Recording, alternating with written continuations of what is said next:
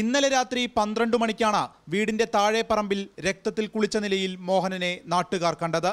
ഉടൻ തന്നെ കുറ്റ്യാടി താലൂക്ക് ആശുപത്രിയിൽ എത്തിച്ചെങ്കിലും മരിച്ചിരുന്നു. തലക്കേറ്റ പരിക്കാണ് മരണകാരണം. തൊട്ടിൽപ്പാലം പോലീസ് അന്വേഷണം ഉടൻ ആരംഭിച്ചു. ഭാര്യയുടെ അനുജത്തിയുടെ ഭർത്താവിനൊപ്പം ഇന്നലെ രാത്രി മോഹനൻ മദ്യപിക്കുകയും ഇതിനിടെ വാക്ക് തർക്കമുണ്ടാവുകയും ചെയ്തിട്ടുണ്ട്.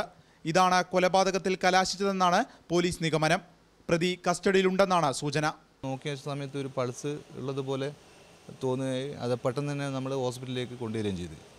ഇവിടെ ഹോസ്പിറ്റലിലെത്തിയതിന് ശേഷമാണ് മരണം സ്ഥിരീകരിച്ചത്. അവരിപ്പോൾ ഡോക്ടർ പരിശോധിച്ചതിന് ശേഷം പറഞ്ഞു മോർച്ചറിയിലേക്ക് ഇപ്പോൾ ഇതിൽ ചെറിയൊരു പരാതി കാര്യങ്ങളൊക്കെ ഇപ്പോൾ ആശയപല്ല ആളുകൾക്കിടയിലുള്ളത് എന്ന് പറഞ്ഞാൽ അയാളെ ബന്ധുവായിട്ടുള്ള ഒരാൾ അതായത് അദ്ദേഹത്തിന്റെ ഭാര്യയുടെ അനിയത്തിന്റെ ഭർത്താവും മൂപ്പരും കൂടിയാണ് അന്ന് വീട്ടിലുണ്ടായിട്ടുള്ളൂ. നാളെ അറസ്റ്റ് രേഖപ്പെടുത്തും.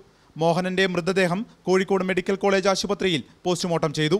കല്ലുകൊണ്ട് തലയ്ക്കടിച്ചു കൊന്നതാണെന്നാണ് നിഗമനം. കുറ്റ്യാടി സി ഐ സുനിൽകുമാറാണ് കേസ് അന്വേഷിക്കുന്നത്.